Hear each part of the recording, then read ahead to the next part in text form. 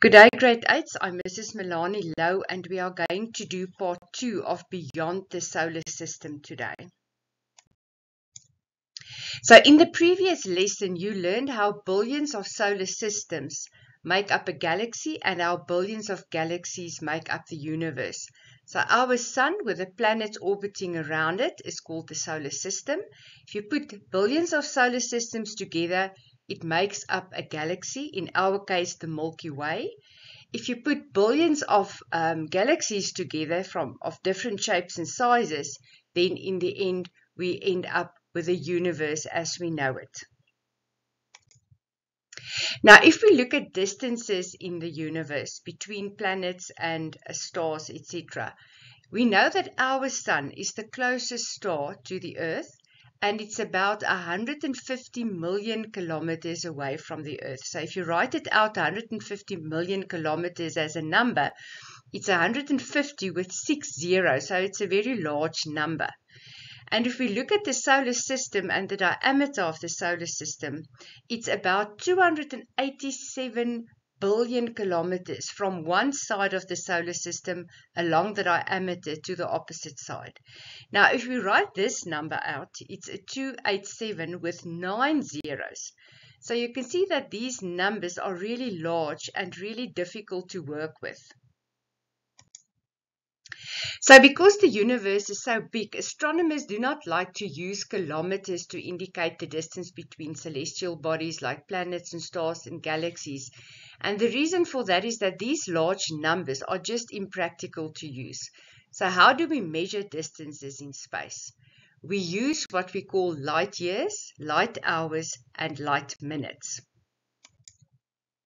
So it's very important. It sounds like a light year is a time, but it's not. It's a distance. It is the distance that light can move in a year. That is a light year. And you already know that light moves really, really fast. It moves at 300,000 kilometers per second. So that means that light can travel about 10 trillion kilometers in a year. So that is a light year. It is the distance that light can travel in a year is called a light year and it's around 10 trillion kilometers. But we don't like to work with the 10 trillion kilometers. We just call it a light year.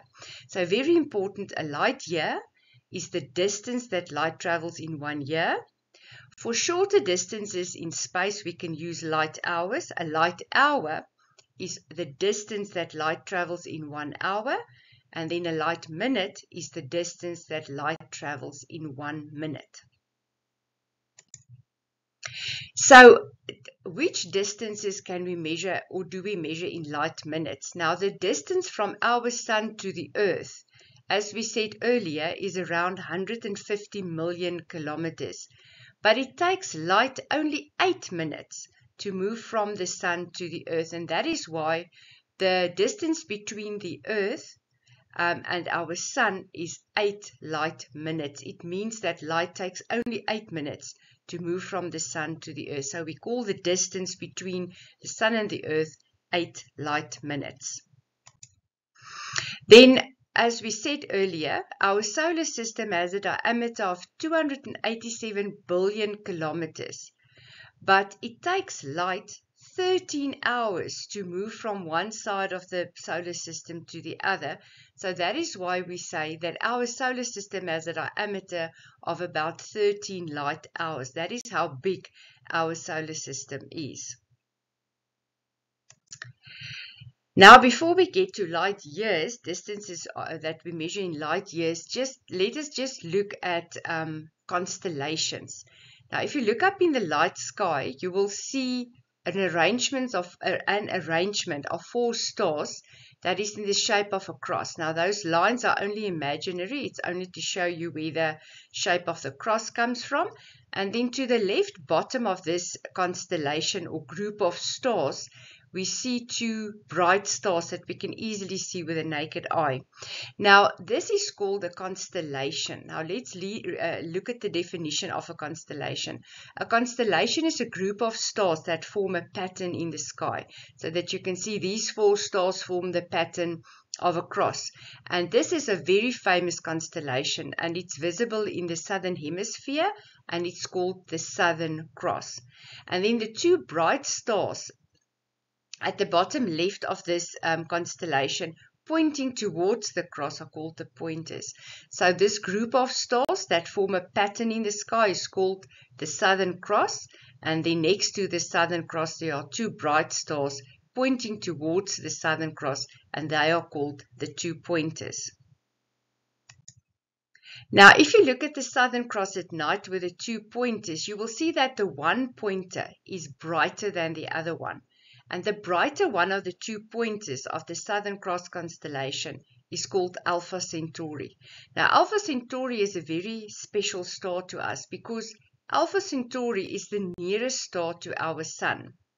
And the distance from our Sun to Alpha Centauri is about 4,2 light years. So it's billions of kilometers away. So the distance between Alpha Centauri, the closest star to our Sun, is around 4,2 light years. So let's just summarize what we have learned today. The first thing we learned is that we measure distances in space by using light minutes, light hours, and light years. A light year is a distance, and it is the distance that light can travel in a year. And then you have to know three distances that we measure in light minutes, light hours, and light years. The first one, the distance from the Earth to our Sun is about 8 light minutes. The diameter of our solar system, the size of our solar system, is about 13 light hours. And the distance to the closest star to our Sun, which is called Alpha Centauri, is about 4,2 light years. And then what is Alpha Centauri? Alpha Centauri is the brighter one of the two pointers, um, which is part of the Southern Cross constellation. So that is what we have learned today. So to test your knowledge, you can continue with a quiz. There are 10 questions and I wish you best of luck with the, with the 10 questions. Thank you.